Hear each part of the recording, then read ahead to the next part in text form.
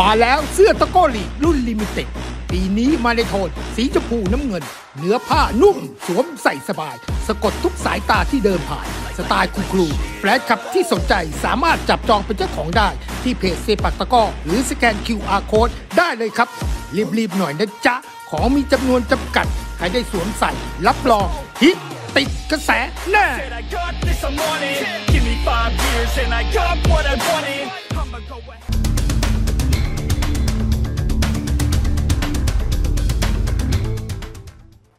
ต่อไปเป็นการแข่งขันเซปักตะก้อไทยแลนด์ลีก ครั้งที่ 20 ประจำพุทธปีพุทธศักราช 2565 ณ ลงยิมเนเซียม โรงเรียนสาธิตเทศบาลบ้านเชตวัน ลายนามของผู้เล่นในทีมที่ 1 สโมสรตะก้อแพร่พญาไก่ฟ้า หมายเลข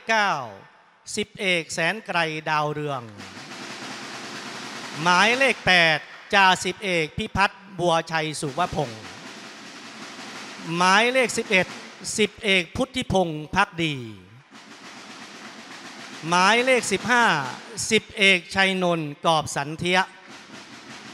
หมายเลข 5 อาสาสมัครทหารพานจักกริดสิงห์ขอนอาจสสศิริวัลปราศจากศัตรู นายกสมาคมกีฬาแห่งจังหวัดแพร่ คุณพัฒนพงษ์พงนวลประธานสโมสรและผู้จัดการทีม ร้อยตำรวจตรีวิทูลชุนตระกูล เลขานุการและผู้ช่วยผู้จัดการทีม นายทวีปหลักตา หัวหน้าผู้ฝึกสอน นายสุทินชูเกต ผู้ฝึกสอนและนายพรเทพวาปีสิริรายชื่อผู้เล่น เซปักตะก้อสโมสรตะกร้อหนองคายหน้าคาพยองประกอบด้วยหมายเลข 6 10 เอกสรศักดิ์เทาสิริหมายเลข 26 นายวุฒินันคำสนอหมายเลข 8 10 เอกโกศลสมเสา ผู้เล่นสำรองหมายเลข 9 10 โทสหัสวัตสะอาดม่วง หมายเลข 11 10 โทธนพลปัญจการ ผู้จัดการทีมนายวิทยาผานิบุตร ผู้ฝึกสอนสิบเอกเจนนรงดาวสกุล ผู้ช่วยผู้ฝึกสอน นายเรืองศักดิ์สมเสารายนามคณะกรรมการผู้ตัดสิน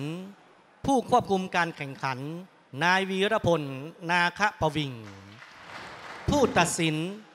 จ่าสิบเอกนรงฤทธิ์จันทร์สุข ผู้ช่วยผู้ตัดสินนายนิมิตสิทธิบูรณ์ผู้ตัดสินกำกับเส้น นายสุธรรม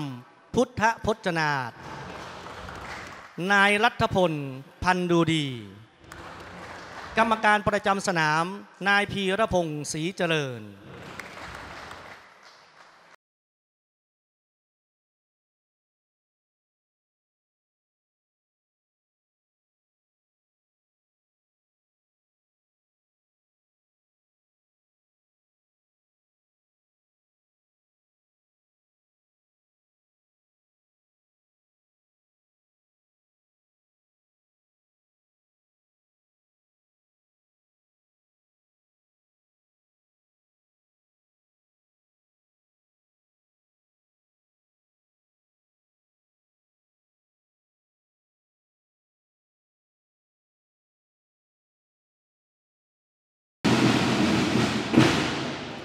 ในการยิงสนามครับสวัสดีครับต่อไปในการแข่งขันตะกร้อไทยแลนด์ลีกระหว่างทีมแพทย์พบกับทีมหนองไทยทีมที่หนึ่งเซตที่หนึ่งแพทย์สองลูกนักกีฬาเข้าสองค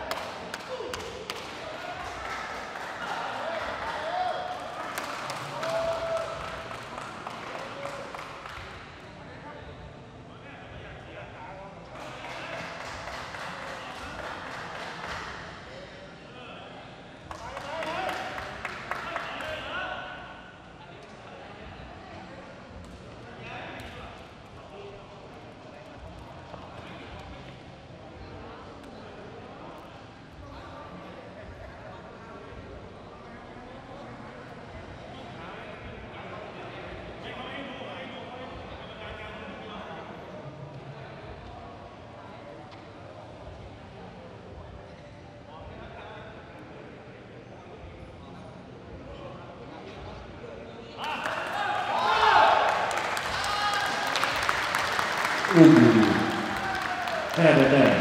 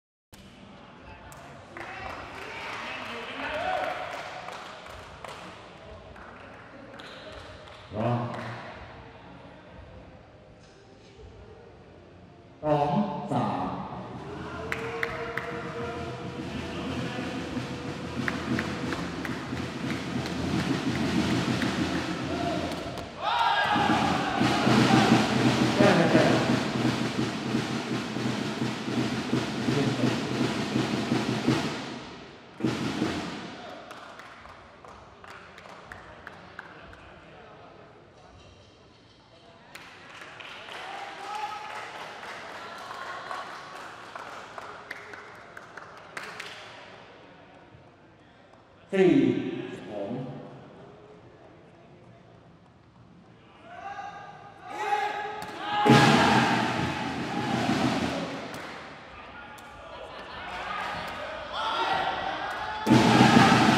ไม่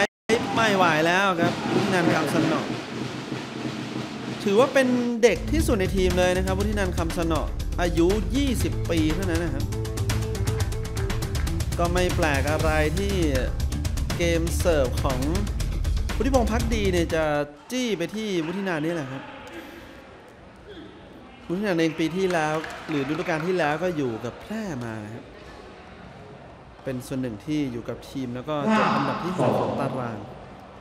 ปีนี้ย้ายกลับมาเล่นให้บ้านเกิดอย่างหนองคายครับ5ต่อ2กดหนังลูกนี้ก็หายอีกทีครับโอ้โห เรียกได้ว่าพายุเข้าประเทศไทยตอนนี้นี่มาถึงสนามด้วยครับ เป็นพายุเกมเสิร์ฟของพุทธิพงษ์พักดีครับ โอ้โห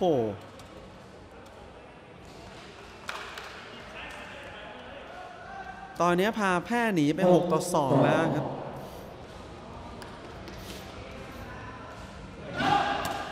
เอาแค่ข้ามเนี่ยครับดูพุทธิพงศ์ นี่คือตั้งใจเลยครับ เสิร์ฟจี้ไปที่เท้าซ้ายของวุฒินันท์คำสนอครับ โอ้ดูเกมเสิร์ฟออกตัวได้อย่างร้อนแรงมากครับ พุทธิพงศ์พักดีทำให้โจทย์ตอนนี้โกสมสมเสาต้องช่วยทีม ลดช่องว่างจากเกมเสิร์ฟบ้างครับ ตามอยู่ 5 คะแนนอืม เอาแค่ข้ามแสนกายเปิดได้ พิพัฒน์โชงสูงก็ไม่เหลือครับ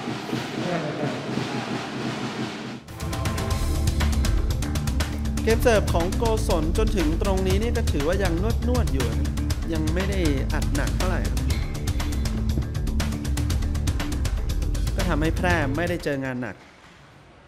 ได้รับเปิดชงเตะสบายๆครับ ตามเป็น 2 ต่อ 8 แล้วครับ โกศลอืมกดลูกนี้โอ้เกมเปิดของพุทธิพงษ์พักดีไม่ค่อยเนี้ยบเท่าไหร่แต่ว่า แสนไกลดาวเรืองครับ เนี่ยฮะ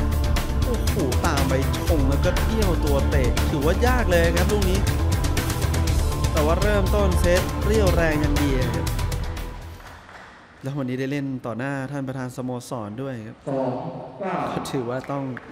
จะหนักจัดเต็มนะครับ วันนี้กลับมาเล่นในบ้าน ก็หวังที่จะคว้า 2 แต้มเต็มให้ได้โกศลลูกนี้แสนไกลก็ยังเปิดได้ครับ แล้วพิพัฒน์จ่ายกระตุกสั้นๆ ลูกนี้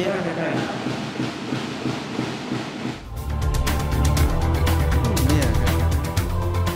อย่างที่บอกเลยครับเกมเสิร์ฟของโกศลยังไม่ทำงาน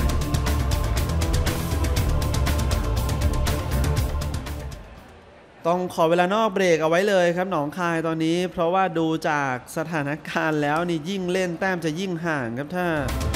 เกมเสิร์ฟยังไม่ทำงานครับต้องมาติวเข้มแล้วก็รวมไปถึงตำแหน่งหน้าซ้ายอย่างวุฒินันท์คำสนอนี่ก็ต้องติวเข้มหน่อยครับเพราะว่าด้วยความที่เป็นเด็กสุดประสบการณ์น้อยสุดในวันนี้นี่โดนเกมเสิร์ฟของพุทธิพงศ์พักดีเล่นงานแน่นอนนะครับเนี่ยฮะ ก็ย้ำคุณผู้ชมนะครับ สามารถรับชมการถ่ายทอดสดศึกตะกร้อไทยลีก 2022 ได้พร้อมกัน 2 ช่องทางนะครับที่แอปพลิเคชัน Monomax ทั้งระบบ iOS Android รวมไปถึงหัว w วย Store นะครับ รวมไปถึงรับชมได้ที่ช่อง 3BB Sport 1หมายเลข 401 สุดยอดช่องกีฬาแอคชั่นจากทั่วโลกผ่านบริการ TBB g i g a TV ครับ เราก็ถ่ายทอดสดทุกวันเสาร์แล้วก็วันอาทิตย์เวลา 15นาฬิกาเป็นต้นไปครับ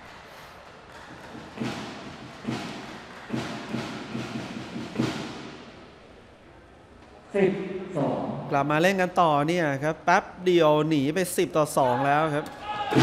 กดลูกนี้สรศักดิ์เปิดได้ครับอืมแล้วลูกนี้ขึ้นไปยังไปเจอบล็อกของกล้วยท่อมโลกอีกครับอ่าไปเรียกเป็นฉายาเพราะว่าดูครับจังหวะกระโดดนี่ขึ้นไม่ขวางไว้ทั้งตัวเลยครับ ไม่ได้เตะสูงอย่างเดียวนะจังหวะกระโดดบล็อกนี่ก็ถือว่าตัวใหญ่มากครับ โอ้หนองคายตอนนี้ลำบากเลยสิบครับเอ็ดสองทั้งมาเล่นเป็นเกมเยือนแล้วเจ้าถิ่นโอ้โหมาแล้วก็กดอยู่เลยครับ 11 ต่อ2โกศลเปิดลูกนี้ก็ไม่ขึ้นอีกนะโอ้โหพุทธิพงศ์นี่ตอนนี้นี่คือเลือกเล่นแบบสบายๆเลยครับคือเจ่อได้ทุกจุดเลยครับอ่า แล้วเหมือนโกศลมีอาการบาดเจ็บด้วยครับ จังหวะขยับเปิดเมื่อสักครู่นี้ก็อาจจะมีอาการบาดเจ็บด้วยแล้ว อาจจะต้องอาศัยจังหวะนี้นี่เบรกเกมเอาไว้ด้วยครับ โอ้โห มาเจอเกมเสิร์ฟพุทธิพงศ์พักดีครับวุฒินันท์คำสนอชงลูกนี้ก็ถือว่าสวยแล้วครับ แต่ว่าจังหวะขึ้นไปฟาดของสรศักดิ์โอ้โห ไปเจอบล็อกเต็มๆครับและนี่คือเนี่ยจังหวะก่อนที่ ทางฝั่งของโกศลสมสาวจะเจ็บอะครับ ต้องมีการปฐมพยาบาล ตัวสำรองนี่ก็ยังมีธนพลปาจการนะครับ แต่ก็ดูแล้วอาจจะต้องเข็นโกศลออกไปแหละครับ เพราะว่าเรื่องของประสบการณ์นี่โกศลก็ยังมีเหนือกว่าผู้เล่นสำรองครับ ก็นบีูแม่เดอร์มิเตอร์ปุ๊บเอ็นแม่ไม่มีอะไรมากครับโกศลสมเสาจังหวะขยับไปเปิดเมื่อสักครู่นี้ก็ อาจจะมีจี๊ดจี๊ดหน่อยๆครับ แต่ก็อย่างที่บอกครับอาจจะต้องใช้จังหวะเมื่อสักครู่นี้เนี่ยเบรกเกมเสิร์ฟของพุทธิพงษ์พักดีไปด้วยครับ แล้วเดี๋ยวดูว่าเบรกได้หรือเปล่า พุทธิพงษ์มาลูกนี้อืมเบรกไม่อยู่แล้วครับโอ้จังหวะนี้พุทธิพงษ์นี่ไฟเขียวอย่างเดียวแล้วครับ เกมเสิร์ฟโอ้โหยกขาทุกชุดนี่อย่างน้อย 2 คะแนนนะครับ แล้วดูครับแป๊บเดียว หนองคายตามอยู่2ต่อ 13 ครับสองสิบสามสรศักดิ์เทาซีรีส์ครับ โยนให้โกศลสมเสา ศลยัดลูกนี้ โอ้โห แล้วยังเอากลับมาได้อ้าวแต่ยังดักขึ้นมาได้ครับวุฒินันแล้วสุดท้ายเป็นแต้มของหนองคายครับ โอ้โห ถ้าไปไล่เรียงอันนี้ยอดเยี่ยมกันหลายตำแหน่งเลยครับ ตั้งแต่พิพัฒน์ที่ชงกลับมาให้ทางฝั่งของแสนไกล แต่ว่าสุดท้ายเตะมานี่วุฒินันดักได้ครับโอ้หนองคายแต้มขยับสักทีฮะ ไปแช่อยู่ที่ 2 คะแนนอยู่สักพักใหญ่ ๆ แล้วครับ แต่ว่าเกมเสิร์ฟโกศลสมเสาก็สามสิบสามเริ่มที่จะมีความหวังแล้วครับเมื่อสักครู่นี้เสิร์ฟแล้วเกมครับแค่นี้ปั่นป่วนพอสมควร ข่าวช่องลูกนี้อ่าครับคายได้แต้มจังหวะนี้เสิร์ฟจี้ไปที่พิพัฒน์บัวชัยสุวพงศ์ยกขาเปิดนี่ไป แบะนะฮะ เปิดแล้วขึ้นไม่ตรงครับ ไล่มาเป็น 4 ต่อ 13 ครับ ตอนนี้หนองคายก็ต้องค่อยๆ กดค่อย ๆ นวดมาครับโหสน เสิร์ฟจี้ไปตรงตัวต้องแก้ไขเอ้า แต่ว่าสุดท้าย สุดท้ายได้แต้มไหม โอ้ ไม่ได้แต้มครับหนองคาย ไปเสียสมาธิเองครับ จังหวะเมื่อสักครู่นี้ของวุฒินันคำสนอครับ โอ้ขนมหกเลยครับ คือจังหวะเปิดของวุฒิพงศ์เปิดไม่ดีแล้วต้องแปลค่ามาแต่กลายเป็นว่าวุฒินันคำสนอสมาธิไม่ดีครับ เลยอดชงให้ทางฝั่งของสรศักดิ์เทาสิริพอต้องชงเตะเองนะเตะหลุดออกหลังไปเลยครับ ทีนี้มาดูเนี่ยครับ คำว่าสนุกอยู่คนเดียวมีอยู่จริงครับ โอ้โหพุทธิพงศ์พักดีครับ เป็นอีกหนึ่งชุดที่มีแต้มการันตีจากเกมเสิร์ฟครับ โอ้ แล้วทีนี้เป็นคิวของสรศักดิ์เทาสิริแล้วก็มีการเปลี่ยนตัวเลยครับ ทางฝั่งสตาฟโค้ชของหนองคายตอนนี้ก็ดูจากอาการแล้ว อาจจะต้องเปลี่ยนผู้เล่นลงมาบ้างครับ เผื่อจะมีอะไรที่มันแปลกใหม่ เอาทางฝั่งของสิบสะสวัสดิ์สวัสดิ์สะอาดม่วงนะครับนี่ก็เด็กไม่แพ้กันนะครับอายุ 22 ปีสะสวัสดิ์ชงวุฒินานโนโหไปโมงลูกนี้ เจอบล็อกเต็มๆเลยครับ เป็นจังหวะแก้ไขที่ทำได้ดีที่สุดแค่นี้แล้วครับ แล้วดูเหมือนวุฒินันท์ทำมือเหมือน ขอดู VAR เหมือนกรรมการฟุตบอลเลยครับ แต่น่าจะเป็นขอ challenge แหละครับตะกร้อนี่ challenge ได้ 2 แบบนะครับ คือลูกออกหรือลูกลงรวมไปถึงอีกหนึ่งจังหวะ คือจังหวะเล่นหน้าตาข่ายแหละครับ over หรือว่าไม่ over net ครับแต่ว่าแจ้งมาแล้วครับไม่ over ครับเป็นแต้มของแพร่ครับเคลียร์ครับ คือจังหวะโหม่งก็ถือว่าเสียเปรียบมาก ๆ แล้วครับ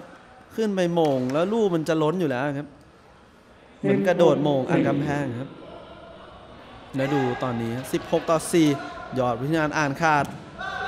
อู้แต่ชงลูกนี้โอ้โหหนองคายได้แต้มจังหวะชงของผู้เล่นคำสนอนี่ก็โอ้โหเพี้ยนไปเยอะเลยครับ แต่ยังดีครับเพิ่งลงมาครับ ถอยมาเตะ แต่ก็โอ้ใช้แรงเยอะพอสมควรครับสหสวัสดิ์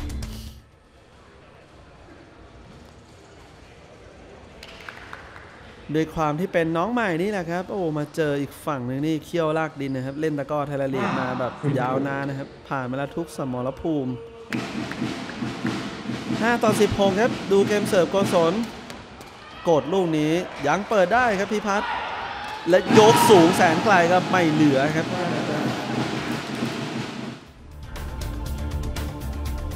วันนี้ก็ลงมาอุดรอยรั่วได้ดีครับพิพัฒน์ บัวชัยสุวพงศ์ลงมาเล่นแทนสถิตสุดสังนะครับ ตัวชงตัวหลักที่มีอาการบาดเจ็บ 5 ต่อ 17 ครับ อืมนะครับ โกศลเนี่ยครับ ก็ถือว่าเป็นความหวังของหนองคายเลยครับ โกศลสมเสา เคยอยู่กับอำนาจเจริญ แล้วก็คว้ารองแชมป์ตะก้อไทยลีกมาครับ วันนี้ต้องมานำทีมน้องๆครับ6ต่อ 17 โกศลยัดอีทีอาครับ โอ้โห กว่าจะมา อุ้ยแต่ว่าลูกนี้ผู้สินบอกเป็นลูกออกครับ โอ้แล้วแม่ใช้สิทธิ์ชาเลนจ์ไปด้วย แล้วเมื่อกี้แพร่ก็ไม่ได้โวยวายอะไรมาอะครับ แต่ก็เป็นลูกออกครับน้ำอยู่ครึ่งต่อครึ่งครับ 18 ต่อ 6 แล้วลูกนี้เสิร์ฟหลุดออกหลังไปครับ แต่เซตนี้นี่ต้องยกให้พุทธิพงศ์เลยครับ สกอร์ที่ออกมาตรงนี้นี่เกมเสิร์ฟของพุทธิพงศ์พักดีนี่ 70-80%ได้ครับ ที่ทำให้สถานการณ์เป็นอย่างนี้นะครับลูกนี้โกศลรับนิ่ง ยกสูงแล้วพยายามจะเตะท่วมบล็อกก็ยังเตะออกหลังไปอีกครับ จังหวะเตะของสางสวัสด์คู่หน้าของแพร่นี่อายุตัวเตะตอนนี้อายุ 22 ตัวชงอายุ 20 นะครับ ถือว่าถ้าเทียบประสบการณ์ก็ตามนั้นเลยครับ เป็นพลังหนุ่มพลังแห่งอนาคตครับ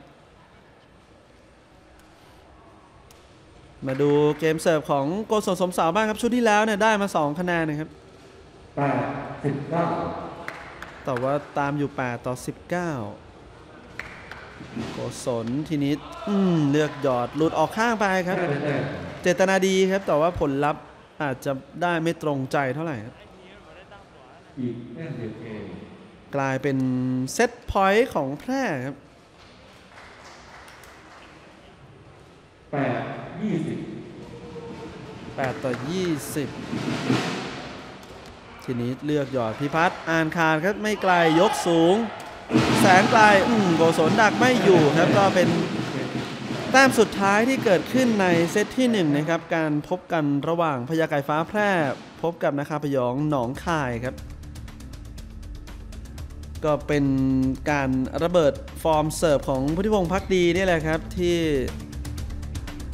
มาตั้งแต่ต้นจนจบครับช่วยให้แพร่ ใช้เวลาไม่ถึง 20 นาที เอาชนะหนองคายไปก่อน 21 ต่อ 8 นะครับแพร่เองตอนนี้ก็คงไม่มีอะไรที่จะต้องปรับจูนเท่าไหร่ครับ ก็คงต้องรักษามาตรฐานเอาไว้ครับ ขณะที่หนองคาย อย่างแรกคือเรื่องของเกมรับที่จะต้องจัดการกับลูกเสิร์ฟของพุทธิพงศ์พักดีเนี่ยครับ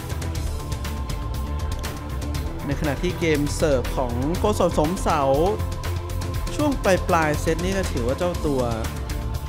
เริ่มที่จะมั่นใจขึ้นแล้วครับ เดี๋ยวดูว่าจะต่อยอดมาถึงเซตที่ 2 ได้หรือเปล่า เมื่อสักครู่นี้คือโค้ชทวีปหลักตานะครับ ก็เป็นโค้ชที่มากประสบการณ์แล้วก็เนี่ยฮะนักกีฬาที่เวลาไปกับโค้ชนี่ก็ไปกันทั้งแพ็คเลยฮะ ปีที่แล้วแพ็คนี้นี่อยู่อำนาจเจริญครับ ปีนี้ย้ายมากินอาหารเหนือบ้างครับ มาอยู่ที่แพร่อดีตแชมป์สองสมัย แต่ก็เป็นแชมป์สองสมัยที่ห่างเหินไปนานนะครับ นี่คือการแข่งขันครั้งที่ 20 นี่แต่แพร่นี่ได้เมื่อการแข่งขันครั้งที่ 5 และครั้งที่ 6 ก็ยังคงรอที่จะกลับไปประสบความสำเร็จอีกครั้งหนึ่งครับ ส่วนนี้ฮะที่เห็นนวดนวดกันอยู่นี่เรียกได้ว่าเป็นพ่อลูกกันเลยครับ ทั้งโกศลสมเสารวมไปถึงสตาฟโค้ชอย่างเรืองศักดิ์สมเสาครับนี่ก็มาดูแลลูกชายเต็มที่ครับส่วนคนนี้ครับโค้ชทวีปหลักตาที่เห็นก็เรียกได้ว่าเป็นลูกชายก็ได้ครับ อยู่นอกสนามนี่เรียกป๋าครับ ไปไหนไปกันครับ อ่าครับเดี๋ยวมาดูเซตที่ 2 ครับ จะเป็นเจ้าถิ่นที่ยังรักษาฟอร์มเก่งเอาไว้ได้ หรือจะเป็นน้องใหม่ที่ต้องฮึดสู้หลังจากที่หลังพิงฝาไปแล้วครับ เซตแรก แพ้ไปถือว่าขาดเลยครับ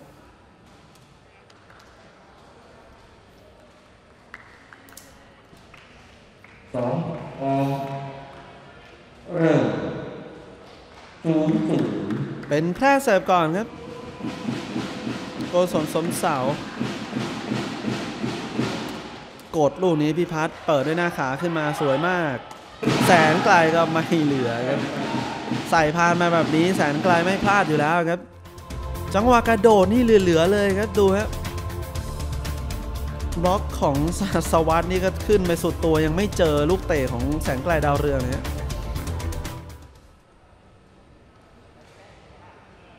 ศูนย์หนึ่งลูกแรกยังทำลายเกมรับของแพร่ไม่ได้ครับโกศลกดลูกนี้บริโภงอาครับเสิร์ฟจี้ไปที่เท้าซ้ายของบริพงษ์พักดี จังหวะนี้เนี่ยเปิดไม่ทันนะครับ เนี่ยครับ โกศลสมเสาเครื่องเริ่มติดในปลายเซตแรก หนึ่งเท่าหนึ่งเท่าครับอีกหนึ่งลูกครับเกมเสิร์ฟของโกศลทีนี้เลือกหยอดพิพัฒน์ยังอ่านขาดครับ ยกชิดลูกนี้ก็ไม่เหลือครับทีนี้ดันชิดตัวเลยครับ คนบล็อกก็นี่ฮะไม่มีพื้นที่ในการวิ่งบล็อกก็กระโดดได้ไม่สูงเท่าไหร่ครับ ได้มาหนึ่งแต้มครับหนองคายจากเกมเสิร์ฟทีนี้มาดูแล้วครับเกมเสิร์ฟของพุทธิพงษ์พักดีครับจรวดทางเรียบของแพร่ที่โอ้โหเซตแรกเนี่ยเสิร์ฟเป็นพระเอกเลยครับสองหนึ่งนำอยู่ 2 ต่อ 1 ครับ กดลูกนี้นี่อะครับห้าได้ได้จี้ไปที่สาสวัสดิ์สะอาดม่วงครับ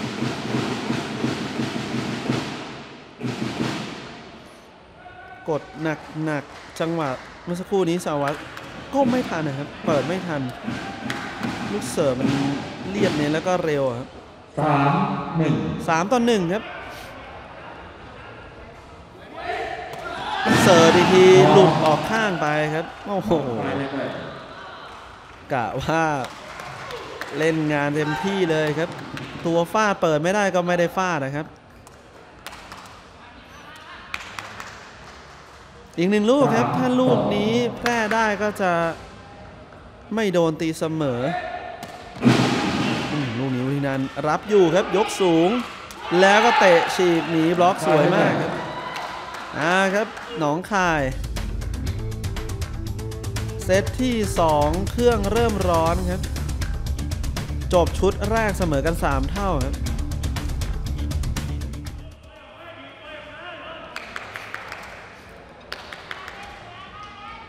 ทีนี้มาดูชุดที่ 2 ของโกศลสมเสาครับสามเท่าเสมอกันอยู่ 3เท่ากดลูกนี้พิพงษ์เอาอยู่ครับพีพัฒน์ยกสูง แสนไกลก็ยังเหมือนเดิมครับ โอ้โห เหมือนฉายภาพซ้ำภาพแล้วภาพเล่าครับ จังหวะขึ้นไปฟาดเนี่ยครับ ถือว่า รักษามาตรฐานตัวเองได้ดีมากครับแสงกายดาวเรืองจนถึงตรงนี้นี่ ยังไม่มีข้อผิดพลาดเลยครับจังหวะขึ้นไปทำแต้มหน้าตาข่ายครับเรียกได้ว่าจังหวะกระโดดนี่เด็กเปลี่ยนสกอร์นี่แทบจะหมุนรอแล้วครับสามสี่และที่ต้องชมก็พี่พัดด้วยครับที่วันนี้ถวายพานให้ทุกลูกนะโกศลพยายามจะกดหนักพยายาม จะจี้ที่พี่พัดนะครับ แต่ว่ากดเยอะไปครับ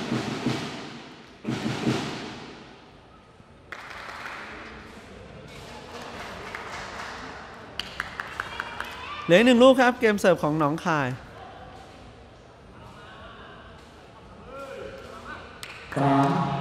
ตามอยู่ 3 ต่อ 5 ครับ โกศลลูกสุดท้ายอืมเสิร์ฟวันนี้หลุดออกหลังไปครับ ชุดนี้ไม่มีคะแนนครับเกมเสิร์ฟของหนองคายแต่เดี๋ยวไปดูชุดต่อไปครับของของแพร่นี่แหละครับพุทธิพงษ์พักดีหกสามน้ำอยู่ 6 ต่อ 3 ครับโกดลูกนี้ เนี่ยแหละครับ โอ้โห ยกขาครั้งแรกในทุกชุดที่เป็นคะแนนตลอดเลยครับพุทธิพงษ์พักดี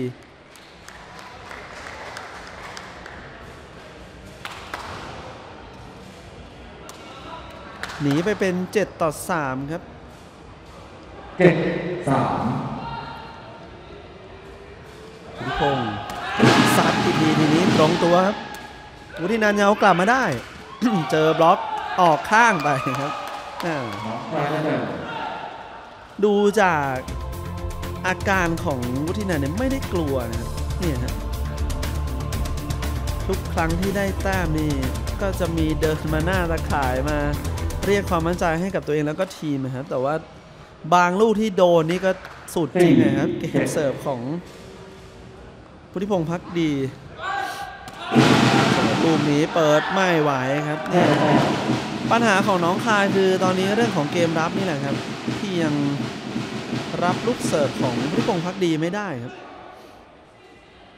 กลายเป็นว่ายิ่งแพร่ได้เสิร์ฟแต้มก็ยิ่งห่าง แล้วพอมาเล่นเกมรับ แพร่ก็ยังรักษามาตรฐานในเกมรับได้นี่โอ้โห ยิ่งไปกันใหญ่เลยครับรองสีคะแนนครับช่องว่างตอนนี้สี่แปดหนองคายตามอยู่ 4 ต่อ8โก ศลสมเสา เลือกหยอดพิพัฒน์ได้ไหมไม่ไหวแล้วครับ โอ้เอาจนได้ครับจังหวะตัดหยอดใส่เท้าซ้ายของพิพัฒน์บัวชัยสุวพงศ์ครับ พยายามมาหลายทีแล้วนะครับ โกศลสมเสา เหมือนก็ค่อยๆกะจังหวะกะน้ำหนักไปลูกไหนมันไม่สุดก็ให้พิพัฒน์เปิดเล่นไปครับห้าแปดไล่มาเป็น 5 ต่อ 8 ครับเหลืออีก 2 ลูกครับโกศล กดหนักพุทธิพงศ์เปิดไม่ออกแต่ยังเอาหลังเท้ายกขึ้นมาได้ครับ โอ้โห นี่ดูท่าดีใจ มีให้ดูหน้าขาด้วยนี่ครับเปิดแล้วไม่ออกแต่โอ้โหสุดท้ายครับ ยังใช้หลังเท้ายกตะก้อขึ้นมา พอให้แสงกาดาวเรืองได้เทคตัวขึ้นไปเตะครับ เอาตัวรอดไปได้ครับจังหวะนี้ของแพร่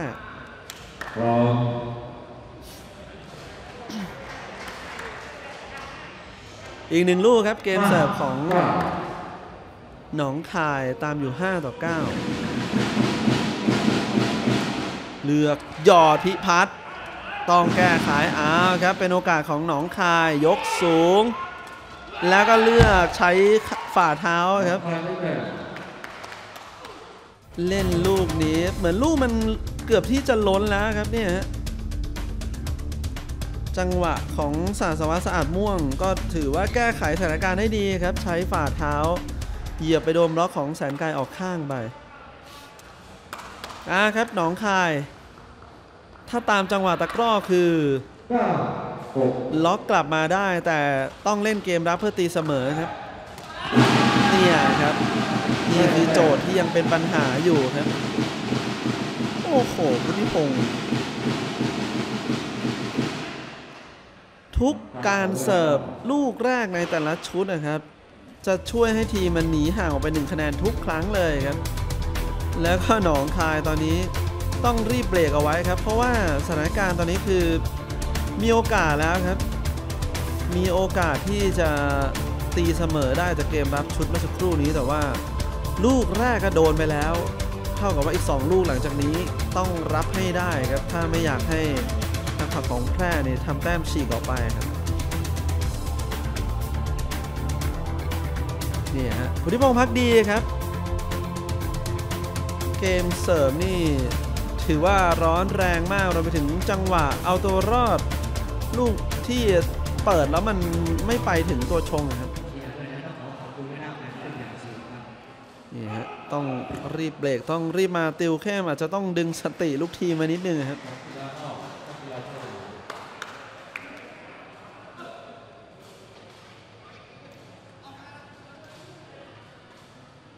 รแกรมนัดต่อไปของหนองคายนี่ก็ จะไปเจอกับสุพรรณบุรีในสัปดาห์ที่ 4 นู่นเลยครับ ส่วนสัปดาห์หน้านี่ไม่มีแข่งขันนะครับมาครับ 10 ต่อ 6 พุทธิพงศ์อืมยังเหมือนเดิมเลยครับ โอ้โห ยิ่งเสิร์ฟยิ่งมั่นใจครับพุทธิพงศ์พักดีแล้ว โอ้โห ถ้าชุดนี้ได้นี่เรียกได้ว่า ยิงจะขยับออกไปไกลเลยครับ 11-6 11 ต่อ 6 อืมอ่าครับลูกนี้เอาอยู่สาสวัสดิ์จะได้เตะคืน อืมอ่าครับทะลุบล็อกของแสนไกลดาวเรือง แต่กว่าจะได้เตะเนี่ยฮะต้องรอลูกที่ 3 เลยครับแล้วลูกนี้เตะฉีกหนีบล็อกสวยมากครับสัสวัสดิ์สหับม่วง แต่ช่องว่างที่มันเกิดขึ้นจากจังหวะเมื่อสักครู่นี้แหละครับ4คะแนน แล้วหนองคายเป็นฝ่ายเสิร์ฟเจ็ดสิบเอ็ดอย่างน้อยควรจะมาสักลูก2ลูกครับโกศล เหมือนเดิมเสิร์ฟจี้พิพัฒน์ทีนี้พิพัฒน์เอาอยู่แสนไกลเนี่ยครับ โอ้โห ตาข่ายตะกร้อ 155เซนติเมตรคุณผู้ชมลองบวกขึ้นไปดูครับว่าแสนไกลกระโดดขึ้นไปเตะลูกนี้ สูงเท่าไหร่ครับโอ้โหฉายานี่ สมแล้วครับ กล้วยท่วมโลกเจ็ดสิบสอง7ต่อ 12 ครับอีก 2 ลูกครับโหสนพีพัฒน์อืมเปิดซ้ายนิ่ง ยกสูง แล้วก็เหมือนเดิมครับเนี่ยฮะ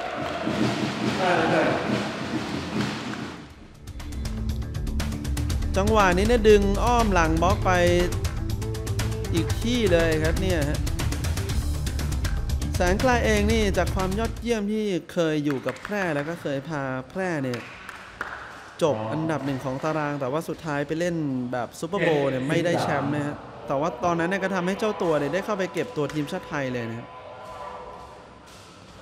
เรียกได้ว่าเส้นทางของหนุ่มน้อยคนนี้ไม่ธรรมดาเนี่ยบวกอีกหนึ่งครับสามลูกรวดเลยครับ จังหวะฟ้าไม่มีพลาดเลยครับแสงการดาวเรือง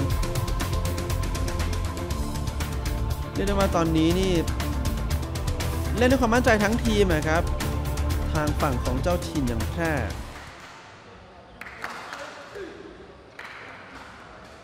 เนี่ยครับ เป็นแกลบสำคัญที่สตาร์โค้ชหนองคายเบรกแล้วเบรกไม่อยู่ครับ ขอเวลานอกไว้พยายามจะหยุดสิบสี่เจ็ดแต่หยุดไม่ได้ก็กลายมากลับมาเล่นอีกทีนี่แพร่ไป 14 ต่อ 7 แล้วครับนำครึ่งต่อครึ่งเลยครับ แล้วก็มาบวกอีกหนึ่งเหมือนเดิมครับ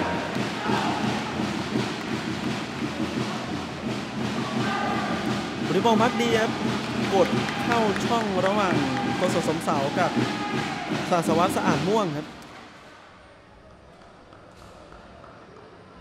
สิบห้าหนีไป 15 ต่อ 7 ครับ มาทีวุฒินันก็เอาไม่อยู่ โอ้โห วันนี้ มาแบบไม่อยู่จริงๆครับ ชุดนี้ยกขาสองครั้งได้มาแล้ว 2 คะแนนครับ เหลืออีกหนึ่งครั้งครับ อืม แล้วเหมือนหนองคายจะ เปลี่ยนตัวหรือเปล่าครับน่าครับ ทีนี้เอาทางฝั่งของธนพลปัญจการนะครับ ตัวชงสำรองลงมาเล่นบ้าง ก็น่าจะมองไปถึงเรื่องของประสบการณ์แล้วแหละครับ ได้ลงมาสัมผัสเกมการแข่งขันรอง ลงมาสิบนี่หกหน้าเด็กกว่าเดิมอะครับ หนองคาย 16 ต่อ 7 เสิร์ฟลูกนี้อาครับ โกศลเปิดได้ธนพลยกสูง ได้เตะลูกนี้ก็ทะลุบล็อกมาครับอาครับ ยกกลับมาลูกนี้ก็ถือว่าลงมาเล่นจังหวะแรกแล้วก็ถือทำได้ดีครับธนพลลงมาก็ได้เฮเลยครับ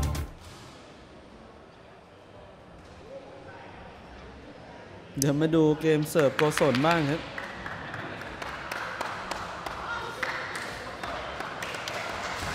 พร้อมครับแปดสิบหกตามอยู่ครึ่งต่อครึ่งครับ8ต่อ 16 โกศลสมเสา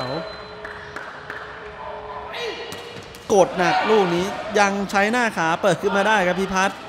แล้วแสงไกลดาวเรืองลูกนี้เตะพัดบล็อกออกหลังไปครับอู้ลูกเสิร์ฟของ โกศลเนี่ยถือว่าหนักแล้วครับโอ้โหแต่พิพัฒน์นิ่งมากครับใช้หน้าขาชนลูกขึ้นมาแล้วก็อาจจะปลิ้นไปหลังนิดนึงอะครับ แต่ว่ายังตามไปชงกลับมาได้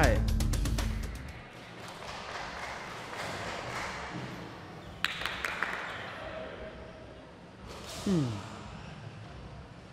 นี่แปดสิบเจ็ด8ต่อ17เซตที่แล้วได้8คะแนนนะครับหนองคาย หรือว่าเซตนี้จะไปได้ไกลกว่าเดิมหรือเปล่า ตัดลูกนี้หลุดออกข้างไปครับ วันนี้โกศลก็ล็อกเป้าไว้ที่พิพัฒน์บัวชัยสุวพงศ์นี่แหละครับ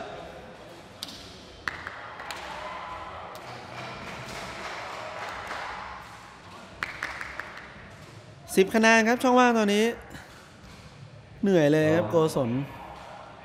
เป็นรุ่นพี่ที่ต้องนำทีมน้องๆครับแปดสิบแปด 8 ต่อ 18 เสิร์ฟลูกนี้โอ้โหรับนิ่งเลยครับ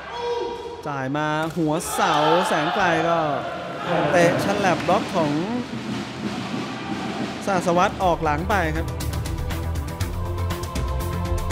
ถือว่าตอนนี้ก็เลือกเล่นด้วยความหลากหลายแล้วครับ จังหวะเล่นเกมบุกของแพร่ครับ จังหวะเปิดชงเตะ สิบเก้าแปด19 ต่อ 8 ครับแพร่ต้องการอีก 2 คะแนน กดลูกนี้ก็หายอีกครับโอ้โหพุทธิพงศ์พักดี นี่ถ้าออกข้างสนามไปไปเจอสาวๆ นี่คงต้องพูดคำว่าเกินปุยมุ้ยเลยครับวันนี้โอ้โห แค่เดียวเกม ทุกชุดมีคะแนนครับ ยกขาเป็นแต้มครับ 20 ต่อ8ยี่สิบแปดเป็น 12 match point ของแพร่แล้วเสิร์ฟลูกนี้นะพลโดนก็จบเลยครับ แล้วก็เป็นสกอร์เดียวกันกับที่เกิดขึ้นในทีม A ครับในเซตแรกนะครับ action สุดท้ายก็ยังเป็นอุทิพงษ์พักดีครับ น่าวันนี้ระเบิดฟอร์มเสิร์ฟช่วยให้แพร่เอาชนะทีมเยือนอย่างหนองคายไป 2 เซตรวดเลยครับ ก็เป็นทางฝั่งของเจ้าถิ่นอย่างพญาไก่ฟ้าแพร่ครับ เอาชนะหนองคายไป 2 ต่อ 0 เซตครับคะแนน 21 ต่อ 8 ทั้ง 2 เซตครับ มาแล้วเสื้อตะกร้อลีกรุ่น limited ปีนี้มาในโทนสีชมพูน้ำเงิน เนื้อผ้านุ่มสวมใส่สบาย สะกดทุกสายตาที่เดินผ่าน สไตล์คูครูแฟลชขับที่สนใจสามารถจับจองเป็นเจ้าของได้ ที่เพจเซปักตะก้อหรือสแกน QR Code ได้เลยครับ รีบๆหน่อยนะจ๊ะ ของมีจำนวนจำกัด ใครได้สวมใส่ รับรองฮิตติดกระแสแน่